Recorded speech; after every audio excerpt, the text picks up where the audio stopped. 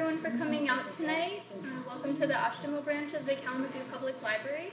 Uh, we're joined by Dr. Eli Rubin, who is a professor of history at Western Michigan University, and his primary area of study is Germany. So let's give him a hand, and he's going to talk to us tonight about the Holocaust in general, but he's got some specific things to say, so let's welcome him.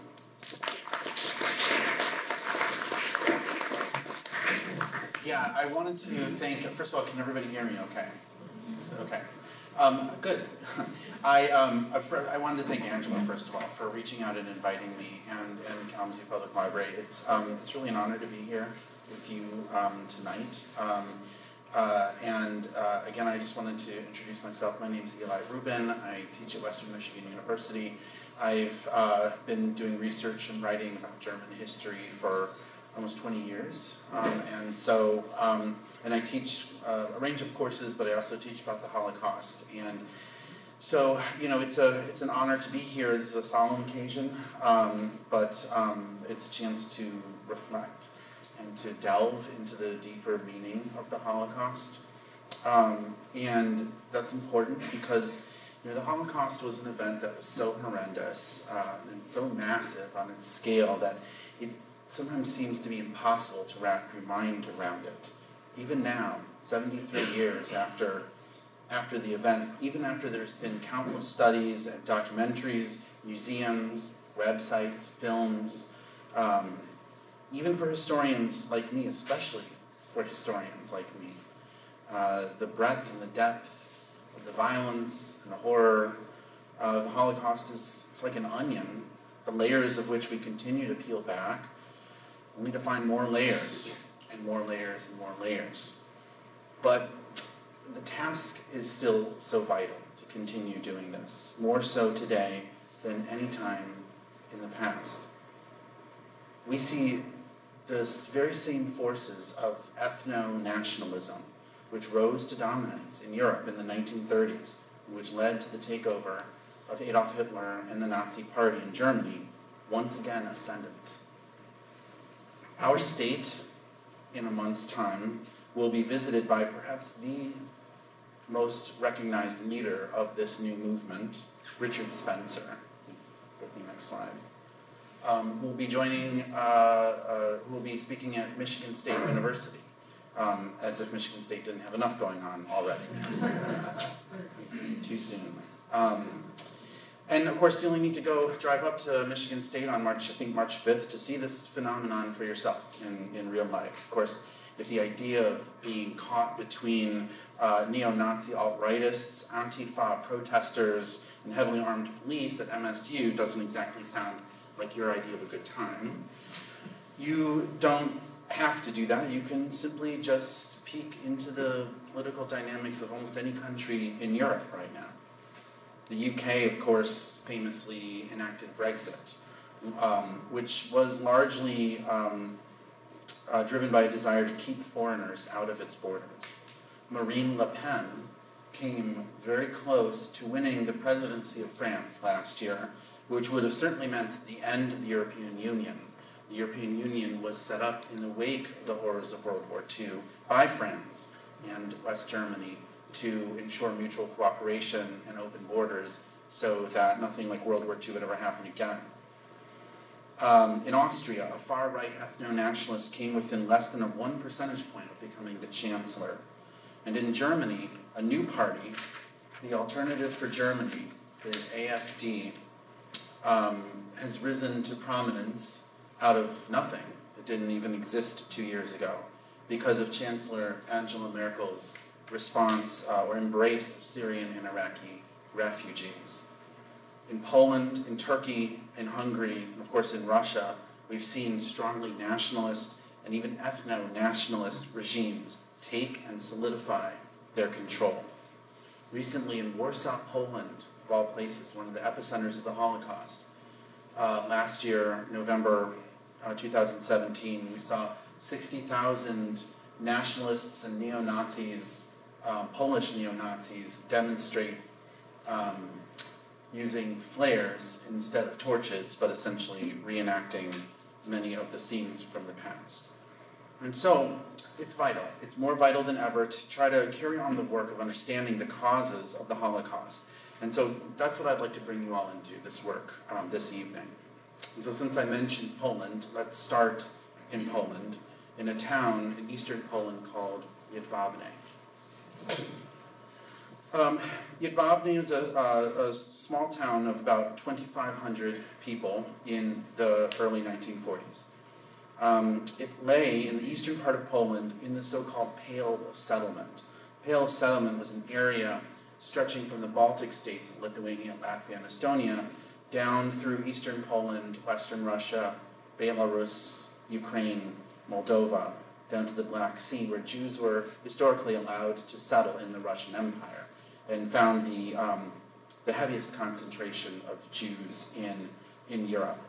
Um, and so, like many of these towns scattered throughout the, the farmlands and the marshlands of eastern Poland, Jedwabne had a very strong Jewish presence. In fact, out of its 2,500 inhabitants, 1,500 of them, two thirds, were Jews. So, in August 1939, in preparation for the beginning of World War II, Hitler and Stalin signed a non aggression treaty, promised not to attack each other. That was made public. There was a secret clause to the treaty that was not made public, which was an agreement between the USSR and the Third Reich to carve up Poland, arranging the borders in advance of how they would divide Poland. And so you can, you can see the um, um, is in the fell in just across the border into the, the predetermined Soviet occupation zone. So, and the USSR um, was also granted control of the Baltic states, um, Lithuania, Estonia, Latvia, and Finland. So when the war started on September 1st, of course, we're very familiar with the scene of German troops and tanks rolling across the, the border with um, Poland. But um, at the same time, Soviet troops rolled across the border from the other side um, and took control of the eastern part of Poland. Um, and when they occupied Jedwabne, uh, as everywhere else, they installed, they began installing the Soviet regime. They put up a huge statue of Lenin um, and began instituting their Soviet political economic system. Some of the residents welcomed them. And a few of the, the residents who welcomed the Soviets were Jews. Um, most of the town's residents simply kept their heads down, including most of the Jews, um, and tried not to get noticed or arrested by the Soviet regime. Um, Poles, in particular, were afraid of the Soviets. Stalin, it was well known, had a deep and enduring hatred of Polish people. He saw them, them as more of an enemy than the Germans. Um, the USSR and Poland had already fought a war once in 1921. Poland, uh, for many centuries, had been under the oppressive and cruel control of the Russian Empire. And um, when the Soviets invaded, they began rounding up anyone in Poland they thought would be a threat to them, including um, officers of the Polish army. They famously uh, murdered 20,000 officers in a forest known as Katyn and many other Poles deemed threats were sent to Siberia to work in the Gulag and were never heard from again. Others, including large property owners, were expropriated, their lands taken and redistributed. Then, 22 months later, in June of, um, of 1941, Hitler surprised Stalin by breaking the non aggression pact and invading Soviet territory.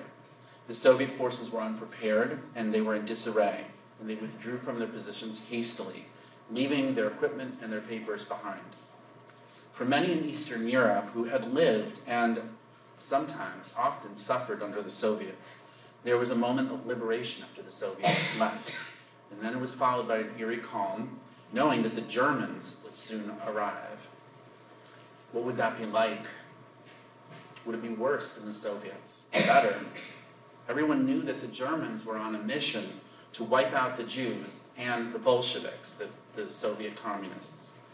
These thoughts ran through the conversations of townspeople throughout Eastern Europe, um, Eastern Poland, and the Baltics, along with another thought, a point that historian Timothy Snyder has emphasized recently, which was in this brief period in July, late June, July of 1941, in places like Jedwabne, there was no government. Polish state had been destroyed by the Soviet Union, and then the Soviet Union withdrew, and the Germans had not yet arrived. It was like a period of anarchy um, and lawlessness. And this was how it was experienced by the people of Jedwabne. Within five days of the Soviet withdrawal, the Polish townspeople began killing their Jewish neighbors. And I should um, backtrack here and just say that this research comes from the work done by a Princeton historian of Polish descent named Jan Gross, whose work has been extremely controversial in Poland. The things I'm going to tell you, number one, um, come from his research. Uh, number two are um, graphic and disturbing to listen to. And number three are um, hotly contested, especially by the forces of the, the alt-right or neo-right or whatever you want to call it in Poland, which largely control most of the government.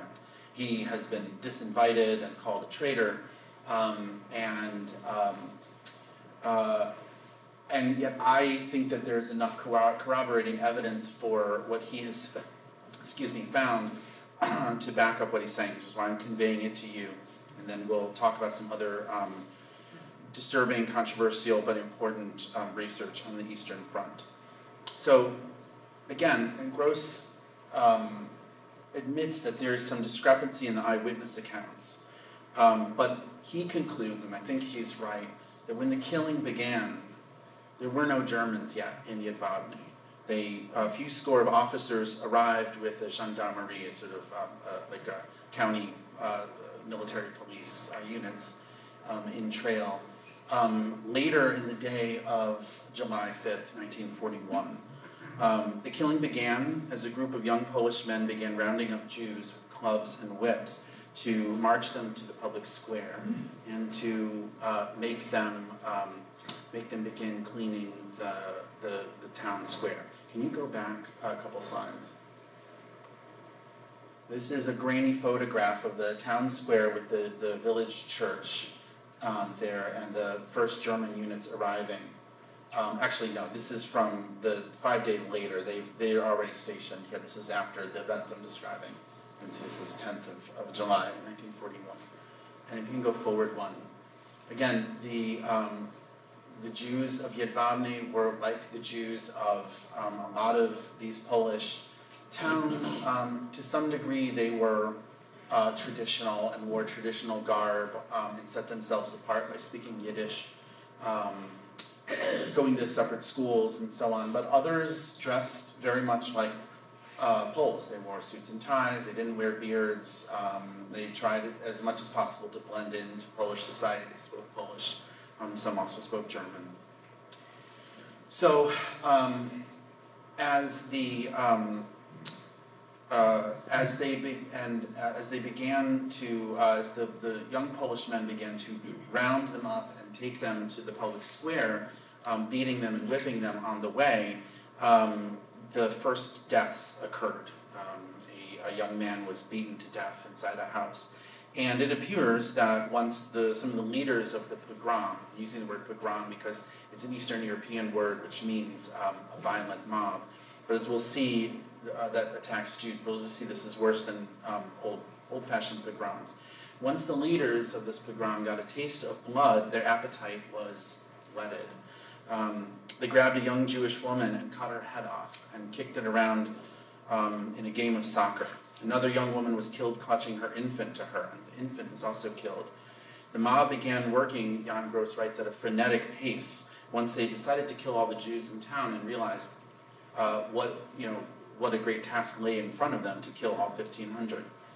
Um, once the Germans arrived, the mob uh, approached them and asked them for firearms so that they could do the job more quickly, and the Germans were not about to give Polish uh, people firearms, uh, so they said no.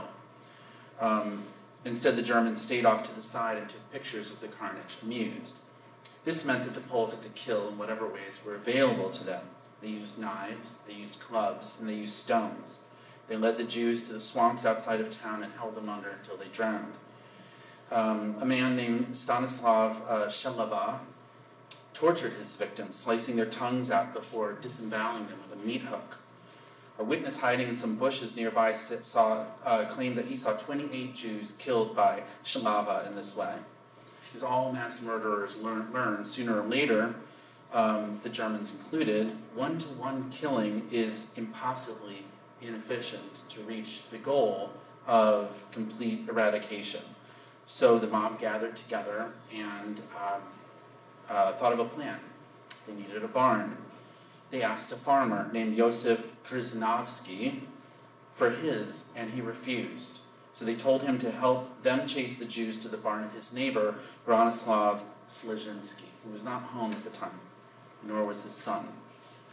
On the way to Slezhinsky's barn, the Jews were forced to carry pieces of the Lenin statue that the mob had smashed that same day and forced to chant, The war is because of us.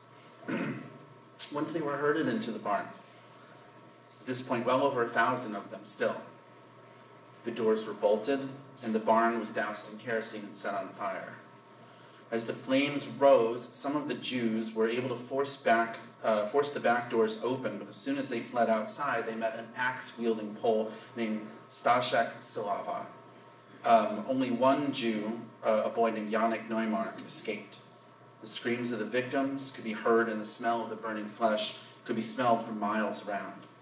After the fire, the Polish onlookers were eager to get at the smoldering and charred bodies to pocket any belongings, mainly jewelry, that the victims had died with. It was at this point that the German officers and their men intervened, angrily ordering the, the Polish townspeople to clean up the mess they had made. They said, quote, So you've managed to kill and burn lots of Jews, eh? But you don't feel like cleaning up the bodies. Get to work. All the corpses needed to be disposed of immediately. It was a hot day in July in Poland. Dogs were starting to uh, eat and carry off limbs from the um, charred bodies. The Poles set about the task, which was extremely difficult because as the over a thousand victims clung to each other as they burned, their charred and melted bodies fused with each other. The Poles, who hours before had been drunk with wild pleasure and listening to the sounds of hundreds of their neighbors burning alive, now had to come down from their high and back to earth. They had to cut and rip the bodies into small pieces and throw them into a big pit all the rest of that sweltering day and into the night. Still, the instigators of the mob found the day to be a very big success. One of the main leaders of the mob at the barn, a villager named uh,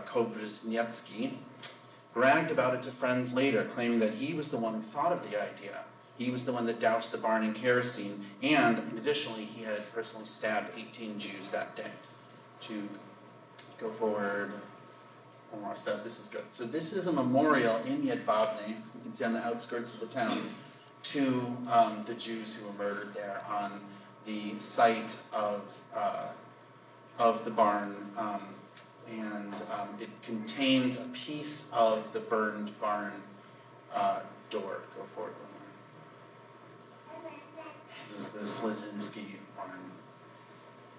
You can see the, the contours of the barn. Go forward one more. And of course, as soon as this was, well, not as soon, but almost as soon as this was put up, it was vandalized um, with, um, it's a little hard to see it there, spray paint saying in Polish, they were flammable and swastikas all over the memorial. Um, there were Jews, of course, that tried to escape the town, but as you can see, it's a small town located in a rural area. Jews didn't have access to horses, generally speaking, whereas the townspeople, the Polish townspeople often did.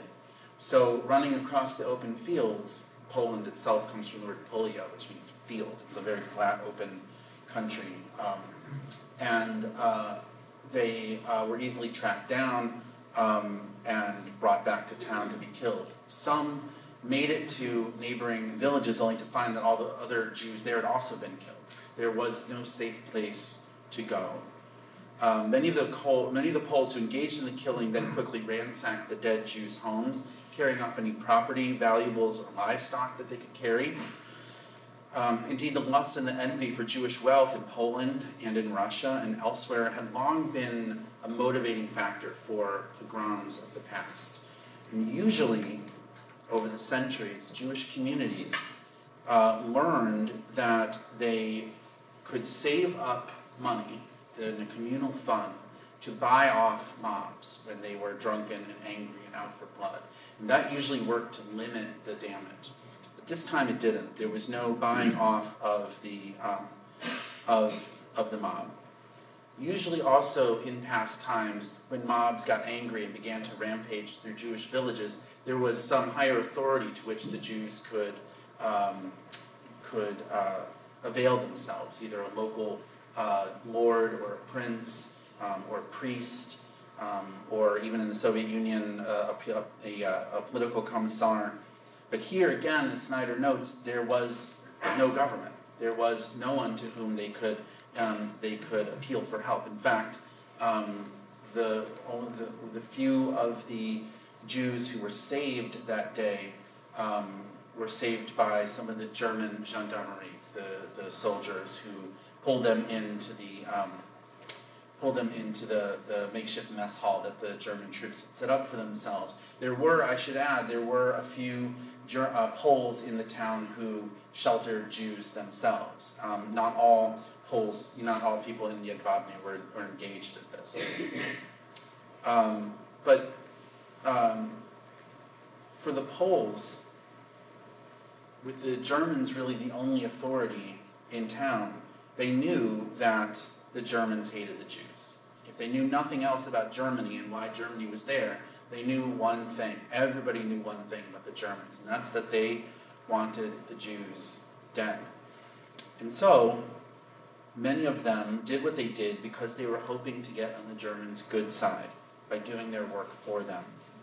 The fact that the Germans would later go on to victimize and murder many of these same Poles, and in fact, in other parts of the country, were doing that as this was happening in Jedwabne, did not seem to spark any sense of solidarity among the Poles with the Jews, the Germans' other targets.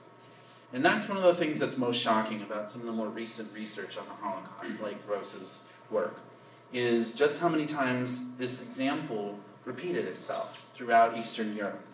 From Estonia to the Ukraine, local townspeople actively assisted in killing the Jews that they had lived with and alongside for centuries. In some cases, such as in Jedwabne, townspeople simply turned on their Jewish neighbors, clubbing and stabbing and burning them while the Germans arrived and looked on in amusement. In others, locals volunteered for auxiliary uh, military units that the Germans hastily formed to help them in the task of shooting, rounding up and shooting Jews so that the Germans wouldn't have to do the shooting themselves. And we see this um, everywhere we look throughout the Holocaust. Ordinary people doing the work of the Germans for them. In the death camps, most of the actual work of hurting the Jews, you can go forward, of herding the Jews into the gas chambers, unlocking the doors behind them, then removing the corpses, their skin turned uh, rosy pink from the hydrogen cyanide gas, which had just killed them, their limbs rigid and entangled, was not a task done by the SS or any German officials. That was left up to um, special command units known as Sonderkommando, many of them made out of Jews. This is one of the few uh, photographs that was smuggled out of Auschwitz um, to the resistance to hopefully get the Western Allies to intervene sooner to save Jewish lives. Didn't work. Um, but this is a, a, Jewish Sonderkommando disposing of bodies um, because uh, the crematoria weren't able to keep up uh, with them, so they, they, would burn them in big piles on, on uh, grates of uh, of iron rails to sort of catch the fat dripping so they could use it to save kerosene as more fuel.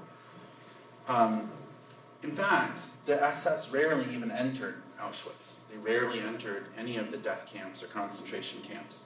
Um, their barracks were outside the walls of Auschwitz. They brought their families to live with them. They had a kindergarten, restaurants, um, and many of the families were totally unaware of what was happening um, right nearby the camps. The wife of Franz Stangl who was the commandant of Treblinka um, extermination camp, um, lived in a nice house right near the camp, had no idea what her, what her husband actually did until one day a drunken subordinate of her husband dropped by and blurted the whole thing out to her. And she was horrified and confronted her husband, and um, her response um, to his admission of what he, his job really was was to not have sexual relations with him for a long time after that. No, it was, it was the other inmates who kept order and kept discipline in the camps. Um, many of these were known as capos. They were deputized by the SS um, to, uh, to do this, and the SS would oftentimes select them because they were um, known to be murderers or sadists or, or um, uh, rapists or in some other way um, well suited towards being cruel to other, other people. Um, but sometimes they simply found people willing to, to keep discipline and keep order um, uh, for the SS in the camps. Um, the SS didn't want to venture into the camps. They were afraid of disease. Um, in fact, uh, even hardened SS leaders who actually went inside the camps were shocked at what confronted them. Heinrich Himmler was the, um, we'll talk about a little bit later, was the, the head of the SS, the really one, one of the few ones truly responsible for all of this. Only visited a gas chamber once um, and to see it in operation, and he vomited all over his pristine black SS uniform. Um, he couldn't handle the sight of it. Um, but mainly the SS did not go into the camps because they didn't have to. They had created a situation, a system, in which groups were pitted against each other in desperate, in a desperate and life-threatening situation, which, except for a few exceptions, there were some, some acts of resistance, um, prevented groups from seeing their fates as linked, and prevented them from creating solidarity and a united front, uh, which would have allowed them to act in unison and overwhelm the much smaller number of their captors. Okay, this is a situation with a few hundred guards and hundreds of thousands of inmates. Similarly, in the ghettos to which Jews were consigned in European cities prior to their de deportation to death camps, the Nazis rarely, if ever, entered. Again, this was because of a fear of disease, but and also possibly of being ambushed, as did in fact happen in Warsaw in the ghetto in 1943. But like in the camps, it was mostly because they didn't have to. It was Jews themselves who kept order for the Germans in the ghettos in the form of the Jewish police. The Jewish and, the, and led by the Jewish councils that kept order. These units did uh, the bidding, including, when called upon, rounding up the other Jews to be deported on trains to their deaths. In exchange, they received better rations, and better rations could be life saving in this situation. The Standard food rations weren't enough to keep a person alive for more than a half a year. Um, and they were also spared deportation until they weren't. They usually were the last to go on the trains. Um, most of them didn't survive the war either. And of course, we've learned that ordinary Germans, ordinary Lithuanians, ordinary Poles, ordinary French men and women, etc., participated in the Holocaust in so many other ways including assisting with deportations, informing on Jews who were in hiding, or even actively posing as someone that desperate Jews could trust, promising them forged documents or safe passage, um, only to collect money from the Jews and then betray them to to, to the Gestapo, also for money, to get paid on both ends. In some cases, Jews themselves were employed by the Gestapo to lure other Jews out of hiding and then turn them in to um, to the, the concentration camps. It was in this way that the SS and the Gestapo and the other allied police um, order units that we'll talk about, which um, uh, were numerically much, much smaller, um, could keep order uh, over tens and hundreds of thousands, ultimately millions of, of people. So I'll, as I will submit to you, that this is a very, very important lesson to take away from the Holocaust that we can and that we should and we must apply to today's current climate. The SS was relatively small in number.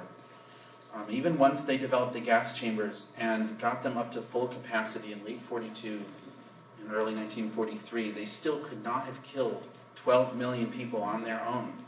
Nor could they have managed a massive concentration camp system that contained tens of millions of people throughout Europe, while also coordinating the ghettoization, the hunting, and the deportation of Jews and other undesirables, such as Jehovah's Witnesses, Roma and Sinti, um, and others, throughout occupied Europe. There's no way they could have achieved anything close to this without the active help of millions of quote unquote ordinary people. So when you hear the saying, all that is, you've probably heard this saying before, but if you haven't, it's a common saying, um, all that is required for evil to flourish or to prevail is for good people to do nothing. I would um, I would say that on the scale of the Holocaust, that that's not quite right. It's more like all that is required for uh, evil to prevail is for several million ordinary people to participate in the evil. As we will see, this concept of evil is one itself that we should examine, re examine. And I'm going to suggest that it's actually ultimately an unhelpful and empty concept, um, and possibly even harmful. So that's why the focus of this talk is on ordinary, ordinariness, um, and the, the links that exist between the Holocaust and um, the, the situations that create um, and lead ordinary people to perpetrate violence. So, um, none of this is meant to be exculpatory of the Germans. Uh, the reality is, is that even though many non-Germans killed or assisted in the killing in some way, it was German policy and action that set it all in motion. Um, and Germans still had a hand in the majority of the killing. Non-Germans may have herded Jews into the gas chambers and locked the doors, but it was usually special, special, special SS commandos who dumped the cyanide crystals in the uh, vent holes from the roofs of the gas chambers so they could sublimate into deadly cyanide gas. And something that's not commonly known is the fact that the majority of the Jewish victims of the Holocaust were not actually killed in gas chambers. They were killed by firing squads in Eastern Europe, in Western Russia, and in the Baltics. It was here that the so called task forces of the SS, the Einsatzgruppen, followed the initial wave of German army forces which had cleared out the territory from the Red Army. The Einsatzgruppen moved stealthily along the country roads of mostly rural eastern Poland and western Russia, from town to town, rounding up the Jews, often with the help of locals, and marching them to the outskirts of the town, usually in a forest or a dale, having them dig their own graves, strip, and then shooting them. As Christopher Browning details in his uh, well known work, this experience was up close and personal not like the impersonal and mechanical killing of the gas chambers, which many SS guards did not actually have to witness firsthand.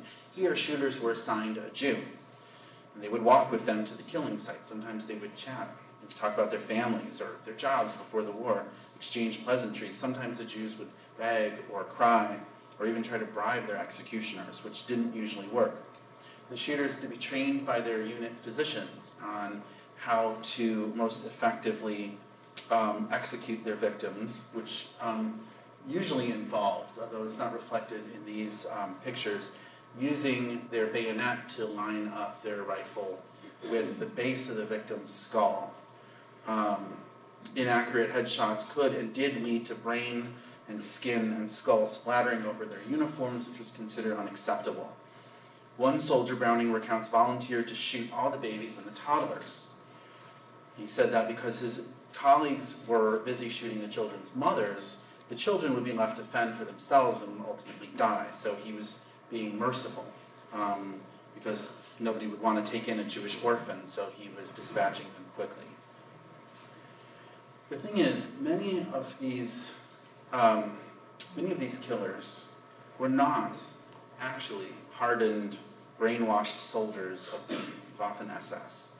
They were actually often men caught up in a massive paramilitary police apparatus that had been quickly, hastily created and consolidated under an office known as the Reich Main Security Office, which was led by SS um, Obersturmfuhrer Reinhard Heydrich. Um, so Browning's work focuses on, on one example of some of these men, a group known as the Order Police, um, this is a more scenes of the Einsatzgruppen. You can go forward one more. The Order Police Battalion 101. Um, the Order Police uh, was uh, a, a, sort of a paramilitary unit that um, oftentimes received um, men who were too old to be drafted into the regular um, army units. Um, but were still either in their mid late 30s or their 40s or even their early 50s, still very much capable of being deployed um, for duty that um, involved combat against people who couldn't fight back, as opposed to uh, the real combat of fighting the Red Army. Um, most of the men of uh, Battalion 101 were from the city of Hamburg um, and uh, were in their 30s or later 40s. Um, far from being indoctrinated or brainwashed um, in Aryan beasts born and bred to conquer the world, they mostly were family men from middle class or lower middle class backgrounds. One of them owned a lumber business in Hamburg. Um, a number of them were in sales, and they were part of Hamburg's bustling uh, trade, commercial trade economy. There were some pharmacists, some teachers, and they were led by Major uh, Wilhelm Trapp, who was 53 years, 53 years old and had been a career policeman in Hamburg, in the Hamburg Police Department. So, as Browning details, the members of Battalion 101 were anything but hardcore Nazis. In fact, when they were first deployed to the newly conquered eastern Polish town of Józefów, Trapp, for the first time, learned of the assignment that his unit had received from the SS commander in Poland, Odilo Globocnik, um, which was to round up the Jews of Józefów, march them outside the town to the forest, and kill them all. Trapp told the assembled unit of their orders, and he said that anyone who did not want to perform the task given to them could step forward and excuse themselves. Twelve men did out of roughly 500. They turned in their rifles, including the lumber business owner, and they were given alternate assignments for the day. Everyone else stayed for duty. As the unit deployed to begin the killings, Trapp stayed behind, unable to witness it himself.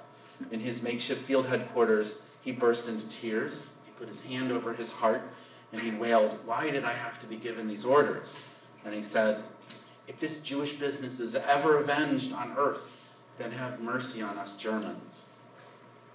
Many of those who volunteered for the killing still found it very difficult, and they tried to get out of it once it had begun. Some volunteered to fetch ammo or other supplies and loaded and unloaded the same truck over and over again. Others to stall for time. Others shot past their victims, hoping that their victims would catch the hint and fall down and lay dead um, to crawl out later when the coast was clear. Most of them at first refused to kill the children, actually, um, and simply wouldn't do it. A number of them cried after the day's duty was done, and most needed copious amounts of alcohol to blot out the memory of what they had done that day. As the days went on and the battalion moved on to other towns in eastern Poland for more killing, rustling up Polish vodka became the first order of the day before even um, forming um, ranks for duty. A lot of these men needed to be blotto before they could even pull the trigger again. This, of course, led to all sorts of problems as the shooting started to become more inaccurate.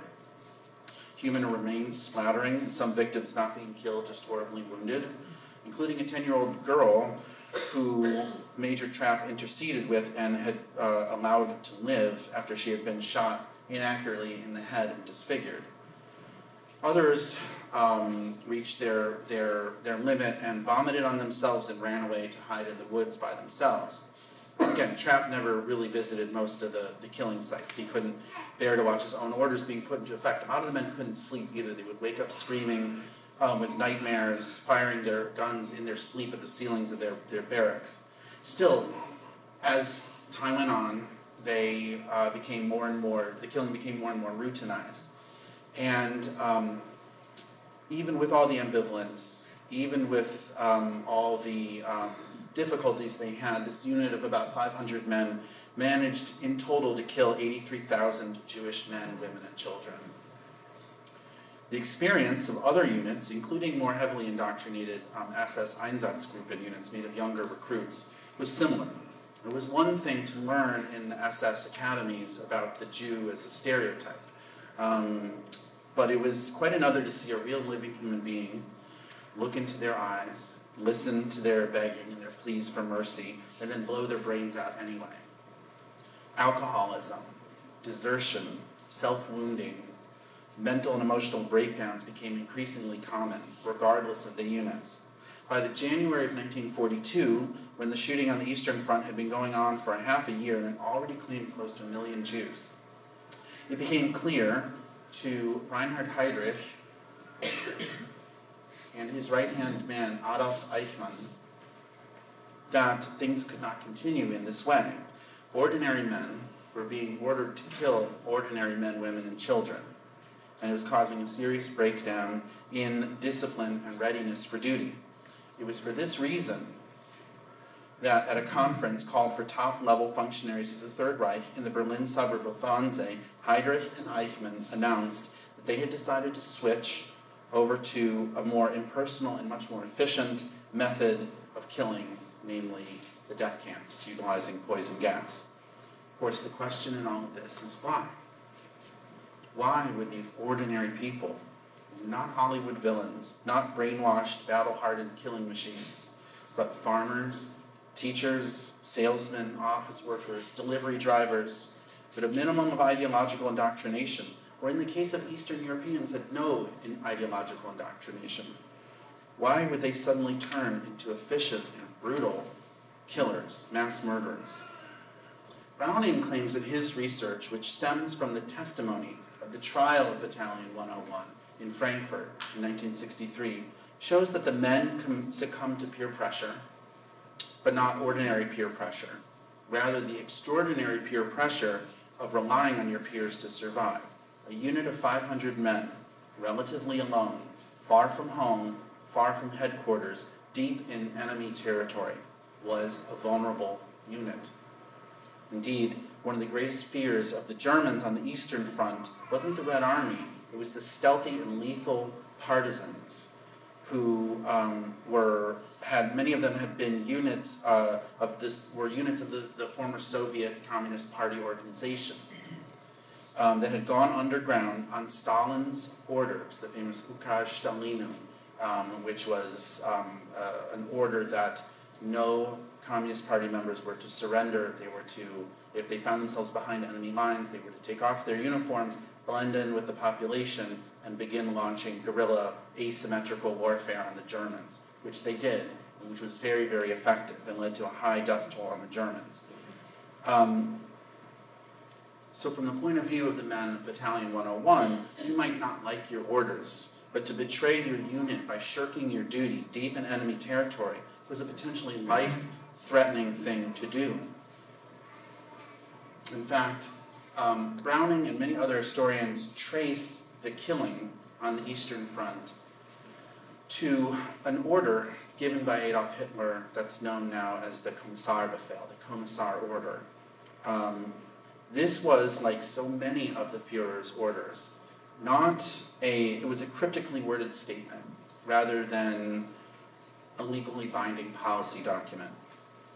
Um, the reason Hitler uh, oftentimes gave orders in sort of cryptic phrases was plausible deniability.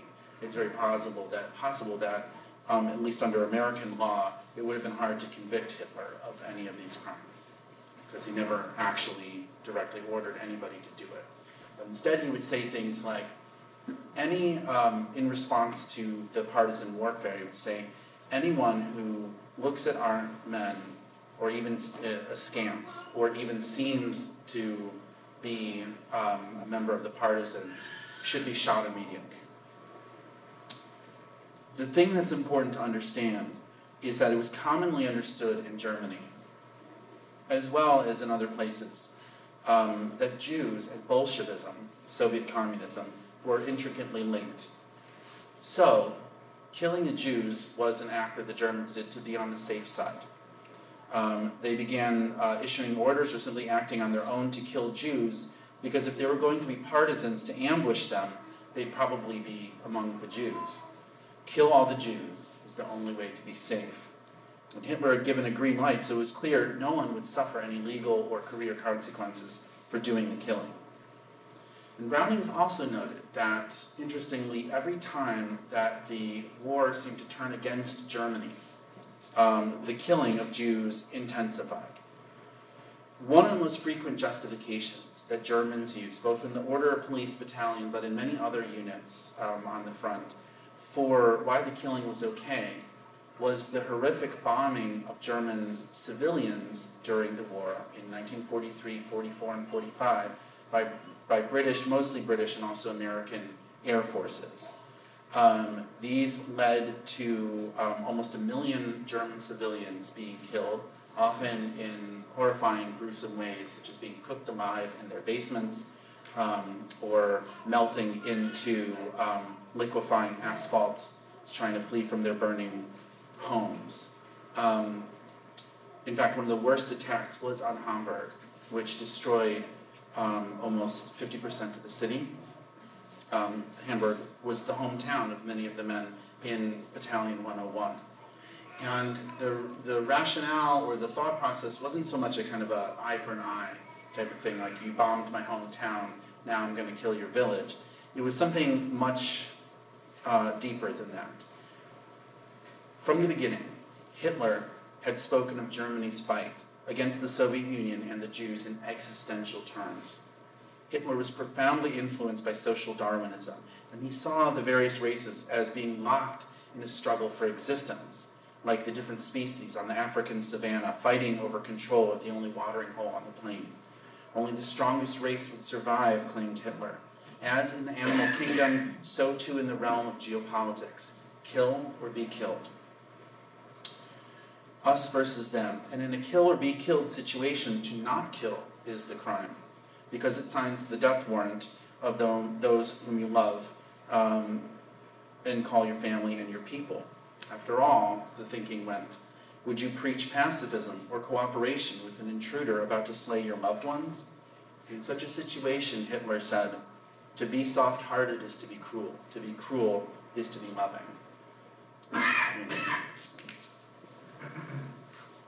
This is why Heinrich Himmler gave a very well documented speech to his top lieutenants in Posen as he unveiled the plans for the final solution.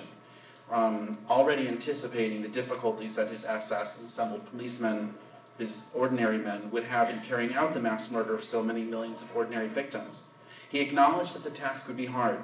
He acknowledged that it would turn their stomachs. He acknowledged that uh, every moral fiber in their beings might cry out to them to stop. But the extermination of the Jews had to be done, he said, and it had to be done by this generation at this time. A Fuhrer, like Hitler, he said, only comes along once every 2,000 years. Miss this chance, and you condemn generations of Germans to defeat at the hands of the Jews. Um, he was asking his men to become the Nazi version of the greatest generation not only to potentially sacrifice their lives in combat, but to sacrifice their own consciences, to take on guilt, to take on nightmares um, of the humans that they killed, knowing that that's ultimately what would serve the greater good. So Timothy Snyder, the, the historian I mentioned earlier, um, has recently argued, um, and again in a controversial book that got uh, bad reviews, but which I think is, is actually um, uh, misunderstood and, and quite uh, good argument, that it's the chase for resources, especially land for resettlement and food, that was a critical part of the Nazi war on the Eastern Front and the Holocaust itself. Hitler was convinced that Germany was losing in the struggle for survival. It did not have overseas colonies like Britain and France. It had to buy much of its food from other countries. Hitler was, according to this line of thinking, essentially reenacting colonization, only this time in Eastern Europe and Russia. Hitler openly spoke in colonial terms, um, or oftentimes drew ideas or inspiration from the treatment of the American Indians in this country. He called the Volga River, which is the rough dividing line between uh, western and, and sort of far eastern Russia, he called it our Mississippi. Indeed, many of the tactics that were used, that were um, uh, deployed by the Nazis, were not invented by them. Uh, you can, the Spanish who invented the concentration camp. They called it Reconcentrada um, in Cuba to keep control of the rebellious Cuban mestizo population. The British also used concentration camps in their colonial empire. Um, concentration camps were essential to the strategy of, um, uh, of how a small minority of conquerors could keep control over a vast population many times greater than their own. keep everybody in one place and then you can control them. Um, this is also deployed by the United States in the Philippines in the Philippine American War. Um, the kinds of divide and conquer strategies that allowed a small minority of Europeans to gain control over vast populations of non Europeans, um, and creating situations of food and resource, resource shortages that required conquered peoples to vie with each other for resources, were tactics that had been developed by Britain, Belgium, France, Holland, and so on. Hitler was simply applying those same tactics to Russia, to Russians, Poles, and Jews. And so this is where I want to start to bring this back to our present situation.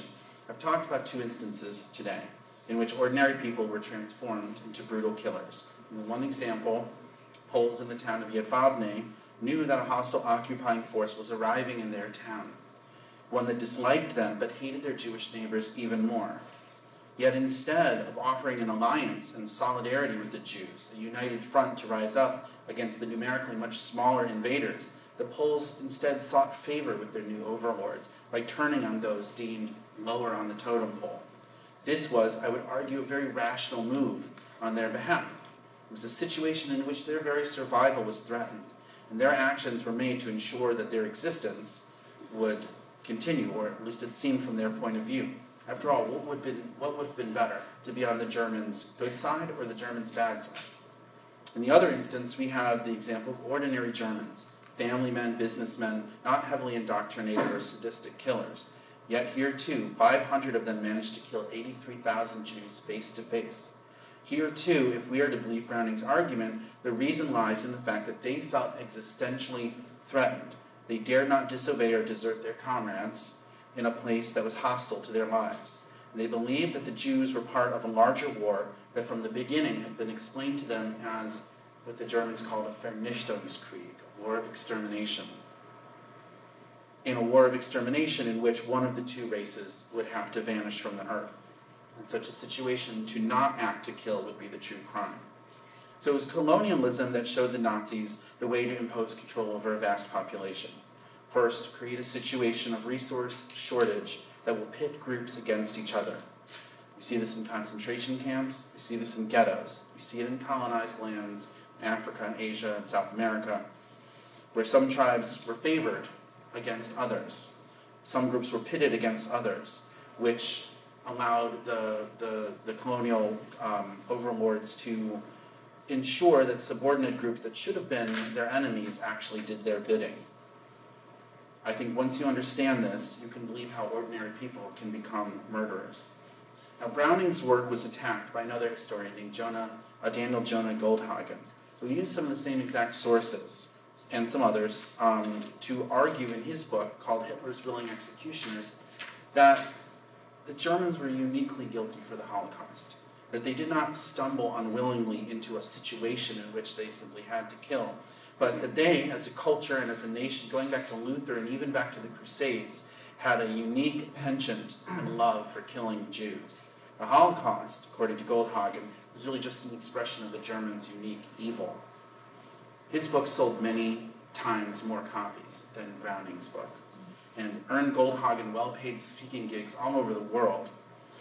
It's not surprising that so many people found it more pleasing to read an explanation of the Holocaust, which assured them that it could not happen here. And that as a non German, none of us would ever be involved in such uh, atrocities.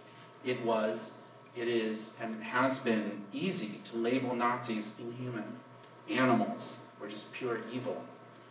And the recent march in Charlottesville, which I'll talk about in a second, brought the sheer strength and newfound power of, um, actually, you can, um, of the neo-Nazi movement to the attention of mainstream America. Much of the commentary that I deserved was the same demonization. The, the participants were evil, or crazy, or un-American, simply outside the realm of understanding. And it's this line of thinking that I'm trying to argue to all that is very dangerous, perhaps the most dangerous of all. Every piece of research that we have, from the research, from the experiments done by Stanley Milgram, um, uh, to um, the tests done on Adolf Eichmann during his trial in Jerusalem, um, and to the research of Christopher Browning, has shown that the Nazi killers were very much living, breathing, ordinary humans like all of us. The marchers in Charlottesville chanted, You will not replace us, and Jews will not replace us. Um, oftentimes, the alt right uses the popular hashtag white genocide um, they're, when they do that, they're reflecting a similar philosophy that was voiced by Hitler many decades ago, that there is a struggle for survival of the races. And anyone who doesn't see that, especially white people, are blind. Any white person who preaches solidarity between the races is the worst because they're like someone who is not willing to defend their own family against an intruder. Um, that's why the alt right loves the derogatory term cuck. Um, this is because resources are scarce. There's not enough to go around. There's not enough food, there's not enough land, there's not enough money. In this country, it's precisely that kind of thinking that has underpinned racism. For so many, especially on the lower end of the socioeconomic spectrum, being white was the one advantage that they had. No matter how down on, on your luck you were, no matter how poorly off you were, if you were white, at least you weren't on the very lowest rung. To lose that one advantage, if indeed you believed that resources were scarce and there wasn't enough pie to go around for everyone, would be an existential threat. That's why so many poor whites fought for the Confederacy to keep blacks enslaved and never made common cause with them. When people, when they hear people say all races are equal, they hear you will now lose the one advantage you had and now your family will starve.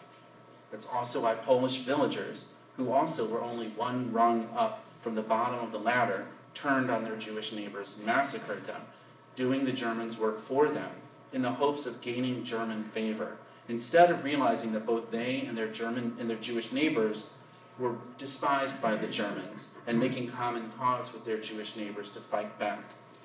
So, the lesson of this look at the motivations of ordinary people in the Holocaust, I feel, is this that you should beware of any worldview that claims that people are inherently in competition with each other for scarce resources.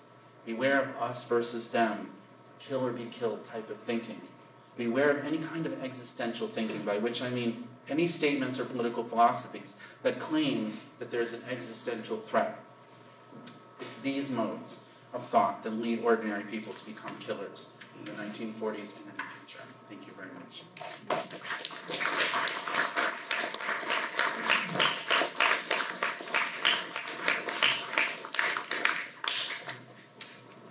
some time for some questions. Um, so what do you do? Um, I mean, how do you argue with, with that kind of thinking, that emotion then?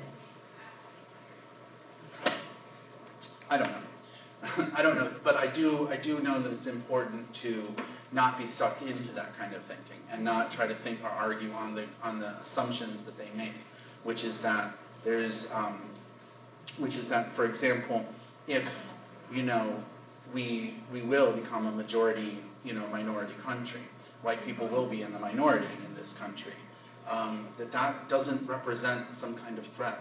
I would say to simply, if you get the chance, if you want to go up on March 5th to uh, East Lansing and get in a conversation with somebody, to ask them what they're so afraid of. Because, you know, one of the greatest rebukes to Hitler, you have to understand, Hitler, um, when his days were drawing to a close, um, decided to kill himself uh, because he truly believed there was nothing worth living for in an occupied Germany. And in his last will and testament, he blamed the German people for being weak in the struggle of the races and grudgingly praised Slavic Russians for being the stronger race. Um, and then predicted that all would be lost, everything would be destroyed. Um, he gave his Nazi lieutenants explicit orders to blow up every bridge, every dam, every factory, every every rail line, everything to completely destroy and uh, and uh, obliterate their own country because they saw no possible future. But as we know, and actually most of my research um, is focused on the post 1945 period, Germany continued on.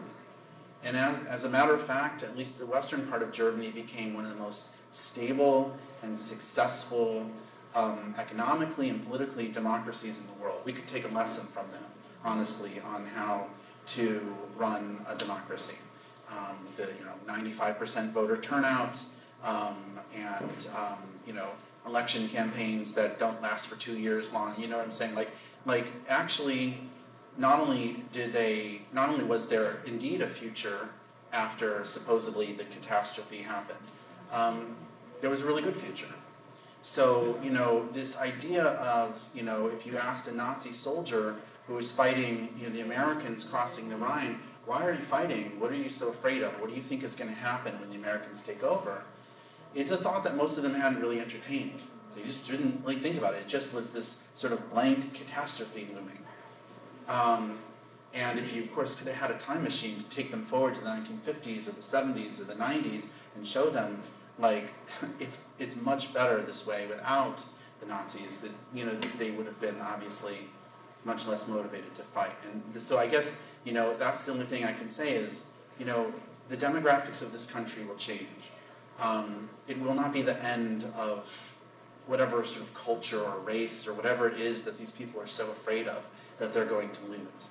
There will still be jobs, there will still be futures, there will still be money to be made, houses to be bought, friends to hang out with, you know.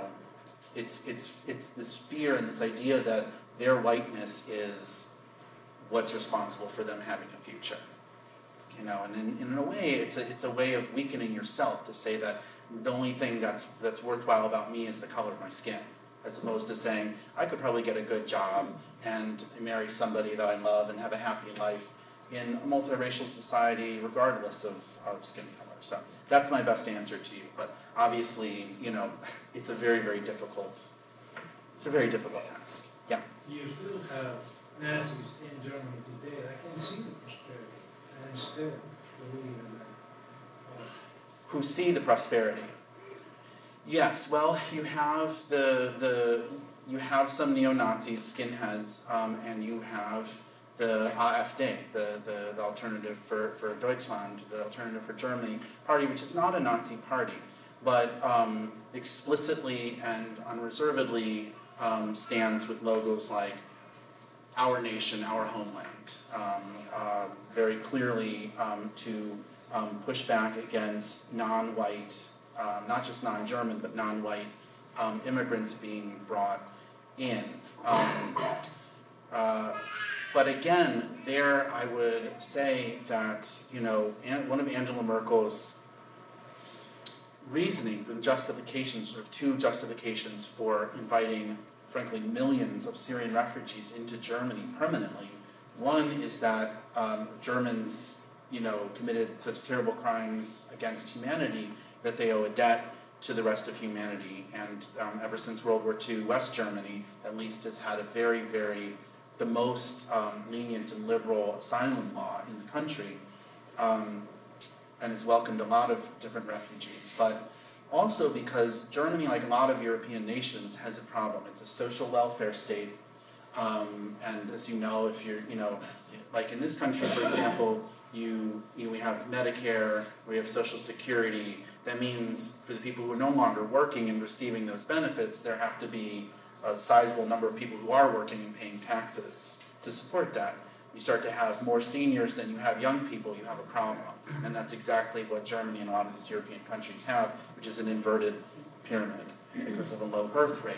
Um, and Angela Merkel's other line of reasoning was that, that we need like more young people doesn't matter if they're Syrians or what they are, to be working and paying taxes so that you can continue to enjoy your very um, generous social welfare state benefits in your golden years. Um, and, you know, I would submit that's still a view supported by the majority of Germans, but um, you know that's that's an argument that doesn't that doesn't comport with with a certain section of the of the population. Yeah. So, as a Jew of German and Austrian descent, I'm well aware of the fate of the Jews of Germany during the Third Reich. And um, I understand that more than half of them left Germany before the mass killings began, which is contrasted with the fate of the rest of the Jews of Europe at that time when they were enslaved and they were killed. Um, can you explain a little bit why the Nazi government allowed its Jews to emigrate? If, you know, when they invaded the Soviet Union, when they invaded the rest of Europe, they tried to kill as many people as they could who were of Jewish descent, but they allowed their own citizens to get out of Dodge. Can you explain why there were these different financial reason? Um, It's both. Um, it's, it's also about timing. Um, what you're talking about was official um, German policy um, about making the Reich Judenfrei, meaning free of Jews, until um, the war began in September of 1939, was a policy of encouraging emigration. Before 1939, Germany didn't have control over Eastern Europe or over France or Belgium or those other countries. So um, that's why a lot of German and Austrian Jews were able to get out. Germany had control over Austria as of um, spring of 1938 onward. So, and actually, Adolf Eichmann's job had been um, from Vienna, Austria. His job was to make contacts with and get to know the Jewish community in Vienna to help them make arrangements to emigrate.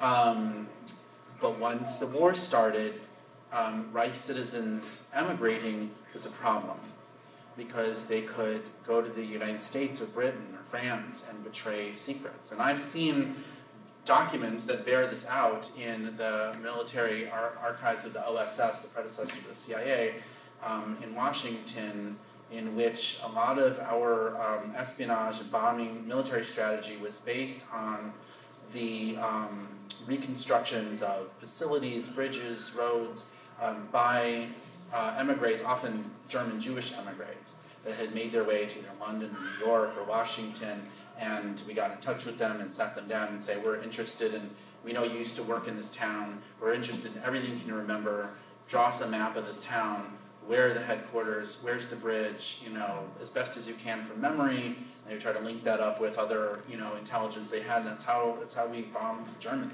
So there was a real, real uh, found, well-founded reason not to let Jews emigrate after 1930, September 1st, 1939. Yeah. So, um, in the United States, we have this strong legal basis for free speech, demonstrations like that, and Spencer's coming to speak. A lot of European countries, particularly Germany, I know, restrict things like that. For most of my life, I've always thought it's better to let the wacko nuts speak because most normal people will realize they're wacko nuts and not follow them. But as these, this right, alt-right is expanding and expanding, and kind of realizing the potential, the flaw in the human brain to become, I don't know, for lack of a better word, brainwashed and drawn into these mass movements, I sometimes wonder whether the system that we have here is the best system for handling it. I'm wondering if you have any thoughts, you know, comparatively on that, how some European countries have handled that free speech issue versus how it is in the United States. Yeah, that's that's a really tough question too. Um, it's not true that um, Germany prevents um, neo Nazis from marching. Um, they have um, they they banned the Nazi Party from ever being reconstituted. At times, they also banned the Communist Party from being constituted, and um, at times, other far right uh, white nationalist or neo Nazi parties. Uh, one called the NPD, for example, um, they, uh, you know, they've been banned and then they were allowed to exist again and then they were banned. Um, but I've personally been to um, witnessed uh, marches of neo Nazis in Berlin, um, and uh, you know, it, it, it, it creates the same kind of dynamic as here because anytime they do that, of course, a large crowd of Antifa, Antifa is a German word, um, actually, and the, the Antifa movement began in Germany precisely because of to counter neo-Nazi marches in Germany. And I've seen what happens when the police have a constitutional duty to protect the neo-Nazis and they end up fighting with the Antifa, making them look like they're, they're Nazis too. Um, and my fear is that the same dynamic happens here, that you will have uh, Richard Spencer, Richard Spen- Spencer and his um, followers um, uh, speaking and then a lot of counter protesters show up and begin fighting with the police, and it makes them look good and their opponents look bad. And this is this is what this was a big secret to the rise of the Nazi Party. You know, I remember you know finding a, a, a memoir from a, a woman who was uh, uh, like a nine or 10, 11 year old girl um, in the 1930s or in the, the early 1930s before the Nazis took power, but when both the Nazi and the communist movement were on the rise in um, in Germany, and you know, knowing very little about politics, she noted that the when the communists demonstrated through the street in her town, they looked kind of disorganized and ragtag, and you know, poor. And when the Nazis marched, they all had pristine uniforms and marched in lockstep. And so she thought, I know which one I'm supporting. You know, these guys look like they have their act together. I like them. So, yeah. So what I've heard of some of the responses to Richard Spencer, or anytime any of those people speak, is to sign up to go, and then walk out. Your attention, please. Or The like, library so for everyone in this room to show up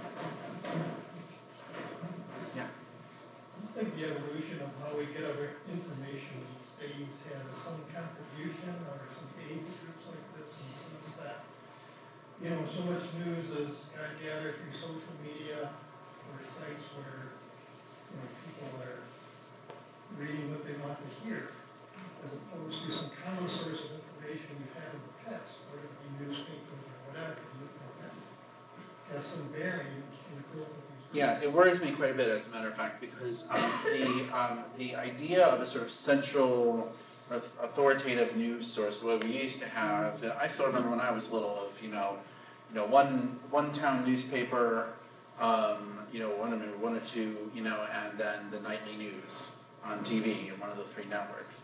Um, uh, you know, is is uh, was something that existed for just a sort of distinct period of time. It wasn't always like that.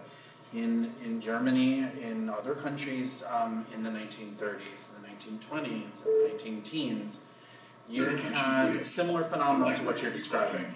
You had newspapers that were read by Nazis and only, you know, described the events of the world through the eyes of a Nazi. There were newspapers that were read by communists and that were, you know, newspapers read by people who are more left of center or right of center.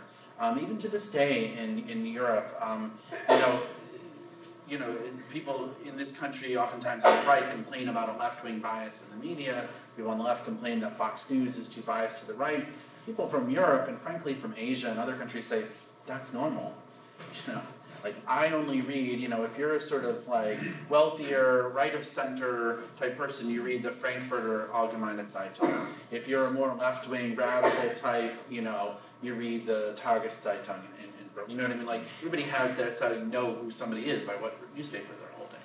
Um, and and yet, you know, as I said, West Germany especially, but even to this day, Germany itself has been has proven itself to be one of the most stable democracies with far more of a commitment to human rights, um, democratic rights, frankly, than in this country.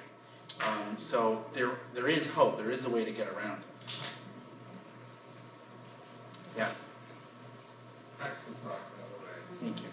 But I would like to put a finer point on the warm and fuzzy place that hate and racism and anti-Semitism, et cetera, have in people's minds. So Holocaust survivors went back to some of those small towns in Poland, uh, they were murdered. Yep. A lot of them were murdered in nineteen forty-five. Um, A lot of the reason that people didn't, uh, uh, identify with the Germans, identified with the marching Nazis rather than the marching communists, because the communists looked a lot like Jews. Because they were a lot of Jews and communists, not so many in the Nazi party. Um, and so I think, you know, in addition to good people not doing much, I think good people have to be able to recognize racism for what it is and anti-Semitism for what it is, because it's still, it's there, and there's all these code words, uh, that, that people use when they talk about bankers and so, you know, they, and so forth, and the people who control the press and so forth, they're talking about Jews, so let them off. Uh, so I think that we need to be, to be on our guard, and not paranoid, but certainly on our guard for these things, and call them what they are. Yeah, I think that's true, uh, but um, just to follow up with that, you know, the Red Army, certainly it had, uh, uh, in the, in the Soviet, you know, Union and the Communist Party had Jews in it. Um, but to some degree, that was just because there were a lot of Jews who lived in the Soviet Union. The Soviet Union was actually one of the, probably the most ethnically diverse um, country ever on earth. I mean, there were, you know, Muslims and Kazakhs and Mongolians and, you know, um, native peoples related to Eskimos. Um, I mean, you know, everybody was, you know, was incredibly diverse. It still is that whole area. Um, and when you when you saw units of the Red Army roll in, they reflected that. It was a multiracial state. Communism preached, of course, that you know that race um, didn't matter, and the only thing that mattered was your class. So um, that um, that plus the Jew, you know, the the Jews, the prominent Jews, was really what horrified Poles, what horrified a lot of people about about it was this idea of a um, a world uh, in which all the races would be mixed up. But I mean, you're right in everything you're saying. I just want to add on to that point when you said about the you know, you talked about the Jews being part of the Soviet Union. I believe that head of the German Communist Party in the thirties was Jewish, Um, you know, that's a, I actually don't know if Thälmann was Jewish. Um, the the leaders who had led it up to a point and then were killed in 1919 were Jewish. Rosa Luxemburg and Karl Liebknecht. Yeah. Yeah. I just had a, a question, so as you're discussing how successful Germany is with their multitude of ethnicities and, and success now, what percentage would you say is Jewish now? Oh, it's a situation that's much? it's very small. Yeah, it's very small. But they have a costs, so now they have a different demographic, they're successful, they have a great loss at a certain Mhm. demographic. And you bring up actually, you're touching on a really, really, really important point that should um, come as a sort of uh, corrective to my talking about how successful Germany is. You could also say that Norway and Denmark have been incredibly successful. Um, you know, and Sweden, and frankly, a lot of you know countries, even like Poland, since the fall of communism, have been very successful. One of the things, though, about all those countries that, that is that, as I think you're hinting at, is that they're 99% white and ethnically homogenous. Um, Poland used to be something like 80% Polish, 10% Jewish, 8% you know Ukrainian or Russian. There were Germans, there were Hungarians who lived in there. There were Gypsies. There were all kinds of people who lived in there.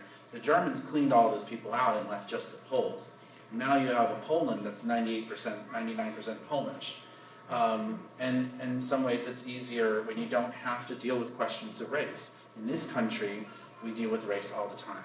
Or sometimes we don't, but it's still there, um, waiting to be dealt with. And um, in a way, these countries like Denmark or Hungary or Germany haven't had to deal with it. Now all of a sudden show up, you know, two, three million Syrians, Iraqis, you know, uh, Somalians trying to save their own lives by coming to get safe haven in Europe, and suddenly this very stable democracy is starting to fall apart. So, I mean, that's that's the other way to look at it. Yeah. Initially, when we were talking about the fifty hundred Jews next to the village, you said many of them retained the language. Uh, some tried to blend in, some tried to dress like, et cetera, et cetera. Uh, as we look at the big picture of immigration and the numbers that we're dealing with, not only in those countries, but potentially in our own country, where there are large groups that come in and insist on remaining together. Uh, and looking in at how does the immigration process work well without a certain level of assimilation, moves. Yeah, um, so the Jewish uh, example there is a little bit different because you know Jews have lived in this region for easily 500 years, um, and, um, uh, and and in Germany as well. Um, in some cases, um, even longer than 500 years, um, thousand years. Uh, some parts of Europe they lived there for 2,000 years. So they weren't immigrants, um, but they had lived sort of a separate life. They developed a separate language, which was a blend of Hebrew, German, and Polish called Yiddish. Um, they dressed differently. They had different laws, different schools, different everything. There was no intermarriage, so on and so forth. Um, and so in the 1800s, in the wake of the Enlightenment, a movement began that Jews should try to assimilate. Both Germans thought this, and sort of Jews thought it, and so they shaved their beards, they wore suits and ties, they spoke German, not Yiddish, they, some of them even converted to um, Protestantism. You know, I mean, they, they did everything to blend in. Your attention, please. The library will be closing in eight Do, are we going to minutes. stop? Thank you. Uh, That should be our last question. Okay, so, um, so they, so yeah, so they did blend in, um, uh, and became, you know, really great contributors to German culture and composers and writers and scientists, um, Albert Einstein comes to mind. Um, and it didn't help them. For a lot of them, that was what they thought would help them. That if you not only blend in, but distinguish yourself, become a great scientist, become a great composer, Felix Mendelssohn Bartholdy, um, or um, a great, um, you know, uh, uh, businessman like uh, Walter Rathenau, um, then people will respect you finally. Or what they found is that if they remained separate and poor, people hated them because they were they didn't assimilate and they were dirty and poor and a drain on resources. And if they blended in and became successful, then people hated them because they were taking over the country. So, you know, it presents a real problem. Um, frankly, this is where the idea of the state of Israel came. Is that you're just never going to be able to assimilate in anybody else's country, you have to have your own. That's a whole other discussion for another time. So, we, I'm happy to stick around and answer some more questions. So,